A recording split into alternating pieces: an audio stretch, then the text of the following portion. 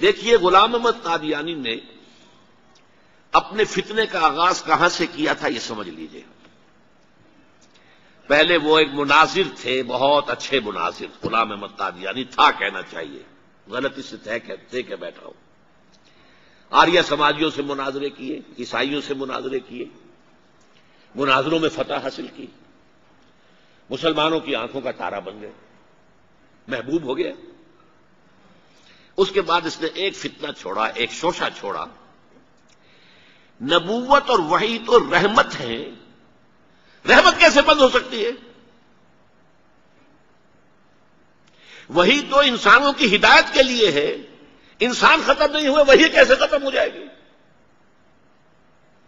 देखिए, बजाहिर यहाँ दलील है। इट अपियर्स कन्विंसिंग बात समझ में आती है। यहीं से यह हल मिल जाएगा आपको। क्या वजह है कि बड़े बड़े आला तालीम याफ्ता लोग जो हैं, उसका शिकार बन गए? दुनिया में एक ही मुसलमान नाम का साइंसदान जो है, वो आया है टॉप पर, वो दिया नहीं। एक ही मुसलमानों का नाम रखने वाला जो है, वो International Court of Justice Hague का जो है जज बना है, वो कौन? कादियानी डॉक्टर्स कादियानी इंजीनियर्स कादियानी बड़े बड़े ये क्यों? ये बात ऐसी थी कि जो बजाहिर दिल को अपील करती है कि जब हज़रत आदम से कहा था, इम्मा याति मिन्नी हुदन फबन तब हुदा या फला खौफन वलासनून इंसानों की हिदायत के लिए वही का रास्ता खोला गया। अभी इंसान खत्म नहीं हुए वही का कैसे दरवाज़ा बंद हो जाएगा? इजराय वही का पहले शोशा छोड़ा, और जब वही जारी है तो नबूवत जारी है। लिहाजा फिर आखिर में आके नबूवत का दावा कर दिया। उसने एक मसला और इस्तेमाल किया। ये असल में चालाक और होशियार लोगों के मामलात होते हैं। अवामुन्नास की नफ्सियात को मुतासर करने के लिए एक और शोशा छोड़ा। देखो, ये कैसे हो सकता है? हमारे नबी, हज़रत मोहम्मद सल्लल्लाहु अलैहि वसल्लम, वो फौत भी हो गए, दफन भी हो गए, जेर ज़मीन दफन है। और ईसा इब्न मरियम, वो आसमान पर उठा लिए गए। वो आसमान पर है। कैसे हो सकता?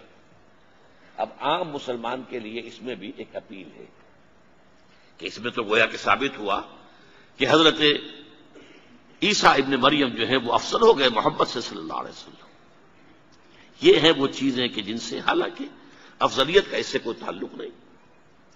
असहाब कहब अगर तीन सौ बरस तक सोते रहे तो इसमें कौन सी अफजलियत हो गई? कोई अफजलियत का सवाल नहीं। इस एतबार से हज़रत उजैर को अगर सौ बरस तक मुर्दा रखकर अल्लाह ने दोबारा ज़िंदा कर दिया। कौन सी अफजलियत इसमें हो जाएगी अल्लाह की कुदरत है, अल्लाह कर सकता। लेकिन आम आदमी को अपील करने वाली बातें हैं लिहाजा उसने शोशा छोड़ा कि नहीं नहीं, ये गलत है, ये मौलवियों के ढकोसले हैं। ये कुरान मजीद में सराहत के साथ नहीं है, ये हदीसों के अंदर है। हदीसों के बारे में जो है, वो हम इतमान नहीं कर सकते कि हज़रत मसीह जो है, वो सूली नहीं चढ़ाए गए। वो सूली चढ़ाए गए वो फौत नहीं हुए अलबत्ता, जख्मी होकर वहाँ से उतार लिए गए थे। फिर उनका इलाज मुआवजा हो गया। फिर वो इलाका छोड़कर कश्मीर में आ गए। यहाँ आकर उनका, इनका इंतकाल हो गया, यहाँ दफन हुए, यहाँ कश्मीर में उनकी कब्र भी मौजूद है। ये दो इशू हैं जो उस शख्स ने उठाए और इससे अवाम उन्नास जो है जिनके अंदर के इल्म की पुख्तगी नहीं होती। या जज्बाती तौर पर आप उन्हें मुतासर कर सकते हैं, या जैसा कि मैंने पहली बात कही थी, उसमें तो यकीनन एक वज़न की बात नज़र आती है कि ये रहमत है, वही रहमत है नबूत रहमत है। अल्लाह की रहमत बंद हो जाएगी कैसे? अब उसका जवाब है यहाँ। मैंने उस कादियानी से कहा कि मुझे यह बताओ कि क्या तुम ये मानते हो कि अल्लाह की हिदायत कुरान में कामिल हो गई? उन्होंने कहा, हाँ, हम मानते हैं। हिदायत काबिल हो गई। मैंने कहा, क्या तुम ये मानते हो कि कुरान महफूज है, इसमें तहरीफ नहीं हुई? क्या हम मानते हैं, कुरान महफूज इसमें तहरीफ नहीं हुई। फिर मैंने कहा, मुझे मंतकी वजह बताओ। फिर उस वही की खिड़की को खुले रखने का फ़ायदा क्या है? वहाँ से जो आना था, जो मुकम्मल हो गया कुरान हाँ, कुरान में अगर तहरीफ हो जाती, इसकी हिफाजत का जिम्मा ना लिया गया होता तो किसी नबी की ज़रूरत थी कि जो आके उसकी तस्वीर करता कि यह बात यूँ नहीं, यूँ थी। ये गलती कर दी गई है, वरना हकीकत यूँ थी। मंतकी एतबार से एक हाजत, एक जवाब पैदा होता है इस वही के जारी रहने का और नबूत के जारी रहने का।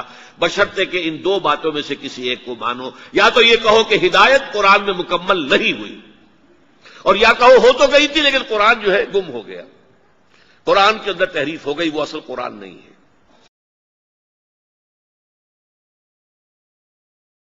उसी जमाने में एक वाक्य यह हुआ था।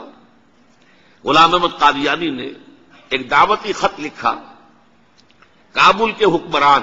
अब मैं भूल रहा हूँ कि वह अमीर दोस्त मोहम्मद खां थे या अमीर अब्दुलरहमान खां थे। इन दोनों में से किसी के साथ, किसी के सामने वो खत पहुँचा। जैसे कि हुजूर ने खुतूत भेजे थे, कैसर को, किसरा को। तो इसको भी शौक चढ़ाया कि मैं भी तो अब नबी हूँ नबूत का दावा कर चुका हूँ तो मुझे पड़ोस का मुल्क जो है अफ़गानिस्तान, वहाँ के बादशाह को दावत देनी चाहिए कि वो मुझ पर ईमान लाए।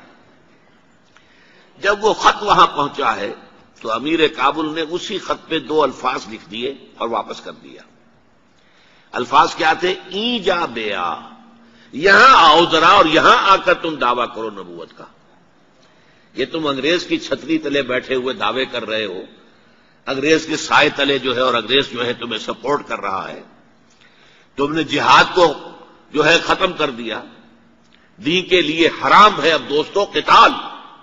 हुरमत हुरमत है किताल। अंग्रेज़ को और क्या चाहिए था? ग्लैडस्टन ने जबकि वो वज़ीर आज़म था, बरतानिया का, उसने कहा था अपने पार्लियामेंट में कुरान को लहराकर जब तक ये किताब दुनिया में मौजूद है अमन कायम नहीं हो सकता। ये तो जिहाद और किताल की बात करती है। तो उनको और क्या चाहिए था कि अगर कोई इस किताल को खत्म कर दे मनसूख कर दे और मुसलमानों में से जज्बा जिहाद और किताल फ़ी सबील्ला को निकाल दे तो इससे बड़ी और क्या खिदमत होगी? लेकिन यह कि अगर तुम्हें यह दावत देनी है तो जरा यहाँ आओ। ही जा बे यहाँ आके ये दावत दो मुझे, ताकि तुम्हारे चौदह तबक रोशन हो, तुम्हें मालूम हो कि इस दावा करने का मतलब क्या है।